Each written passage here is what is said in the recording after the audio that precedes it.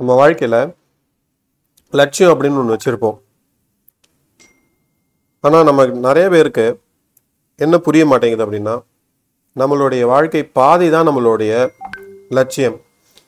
நம்மளுடைய ஜேர்னி தான் நம்ம டெஸ்டினேஷன் நம்ம எல்லாருமே ஒரு லட்சியத்தை நோக்கி ஓடுவோம்.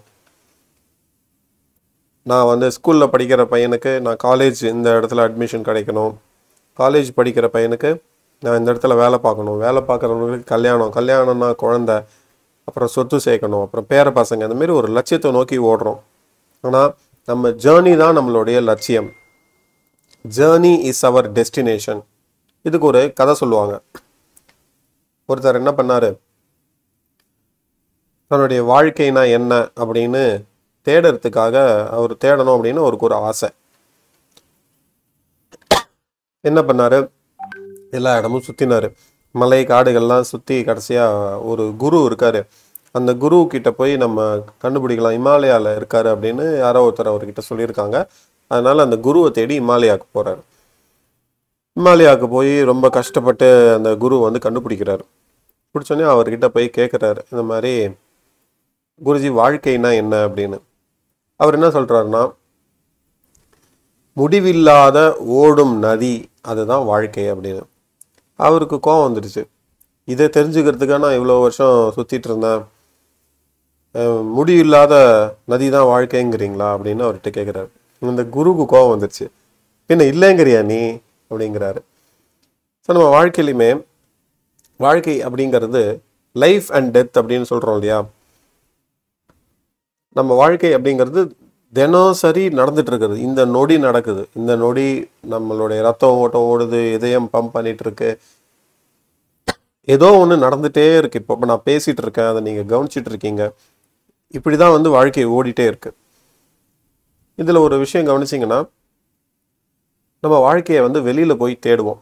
வாழ்க்கைனா என்ன அப்படிங்கிற தத்துவங்கள்லாம் பெரிய மேதைகள் சொல்லியிருக்காங்க. புக்கில் அங்கே எங்கேன்னு தேடுவோம். அது எல்லாமே டெட் செத்த விஷயங்கள். அது எதுவுமே வந்து உண்மை கிடையாது. உண்மையான வாழ்க்கை என்னது? நடந்துட்டு இருக்கிறது தான் வாழ்க்கை.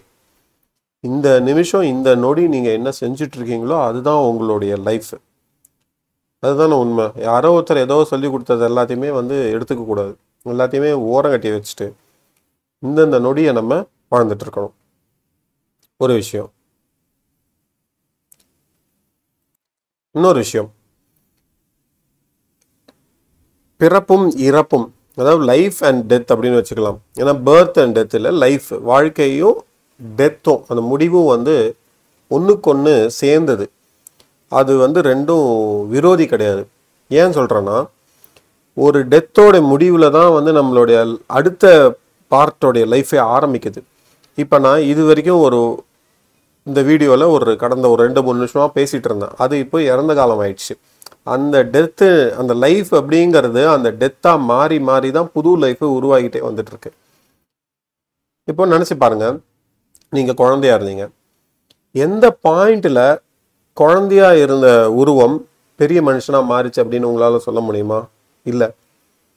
எந்த நிமிஷத்தில் அந்த பெரியவனாக இருந்த உருவம் வந்து வயதான தோற்றத்தை அடைஞ்சதுன்னு சொல்ல முடியுமா? கிடையாது. ஏன்னா இது எல்லாமே கண்டினியூஸ் எவாலுவேஷன் அதாவது தொடர்ந்து தின ஒரு ஒரு நொடியும் நடக்கிற ஒரு பரிணாம வளர்ச்சி. அதுதான் வந்து வாழ்க்கை. ஸோ ஒரு ஒரு நிமிஷமும் ஒன்று இறக் ஒன்று இறக்கப்படுது அதாவது ஒன்று டெத்து நடக்குது ஒரு லைஃப் வருது.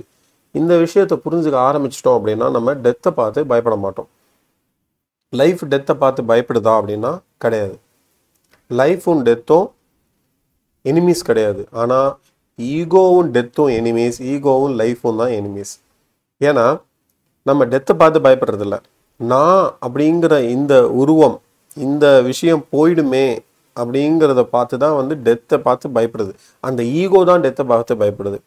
லைஃப் அப்படிங்கிறது டெத்தை பார்த்து பயப்படாது. ஏன்னா நம்ம மூச்சு இழுக்கிறது லைஃப் அப்படின்னா மூச்சை வெளியில் விடுறது வந்து டெத்து நம்ம அந்த மூச்சை வெளியில் விட்டால் தான் திரும்பி நம்ம மூச்சை இழுக்க முடியும். மூச்சை உள்ளே வச்சுட்டு நான் திரும்பி திரும்பி மூச்சை இழுக்க முடியுமா? கண்டிப்பாக முடியாது. அப்போது லைஃப்னு ஒன்று நடக்குது அப்படின்னா ஒரு டெத்து நடந்து தான் திருப்பி அடுத்த பார்ட் நமக்கு ஸ்டார்ட் ஆகும். அந்த சின்ன குழந்தை அப்படிங்கிற அந்த உருவம் மாறி மாறி தான் போகும். இப்போ நீங்கள் உங்களுடைய சின்ன வயசு ஞாபகங்களில் யோசிச்சிங்கன்னா உங்கள் லைஃப்பில் நடந்தது எல்லாமே உங்கள் வாழ்க்கையில் நடந்தது எல்லாமே வெறும் ஞாபகங்கள் தான்.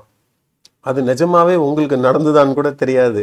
உங்கள் மனசில் வந்து அது பதிய வச்சிருக்கா அப்படின்னு அப்படியான்னு கூட இருக்கலாம் இல்லையா? அப்போது வெறும் ஞாபகங்கள் தான். அப்போது அந்த ஒரு ஒரு ஒரு விஷயம் நடந்துகிட்டே வந்துட்டுருக்கு. அப்போ அந்த லைஃபுங்கிற விஷயம் ஒரு ஒரு நிமிஷமும் ஒரு ஒரு நொடியும் அது வந்து டெத்தாக மாறி மாறி தான் வந்து உருவம் எடுத்து உருவம் எடுத்து லைஃபாக வருது. நம்ம பட்டாமூச்சியை சொல்லுவோம். முதல்ல லாவாவாக இருக்கும்.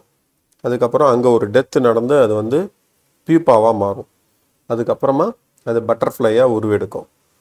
ஸோ இந்த டெத் அப்படிங்கிறது லைஃபோடைய ஒரு ப்ராக்ரஸ் ஒரு கண்டினியூவேஷன் தான். ஒரு வளர்ச்சி தான் தவிர டெத் அப்படிங்கிறது லைஃபோடைய முடிவு கிடையாது. அதனால் நம்ம வாழற ஒரு ஒரு நொடியும் என்ஜாய் பண்ணி லைஃப் எப்படி இருக்கோ அப்படியே அக்செப்ட் பண்ணிட்டு அப்படியே ஏற்றுக்கொண்டு ஏற்றுக்கொண்டு அப்படியே வாழ ஆரம்பித்தோம் அப்படின்னா நமக்கு டெத்து மேலேயும் ஒரு ஃபியர் வராது. நம்ம லைஃப்பை வந்து வாழ்வோம். வாழ்க்கை வாழ்வதற்கே அப்படின்னு சொல்லுவாங்க இல்லையா? அந்த ஒரு ஒரு நிமிஷமும் ஒரு ஒரு நொடியும் வந்து வாழணும். தொடர்ந்து பேசலாம்.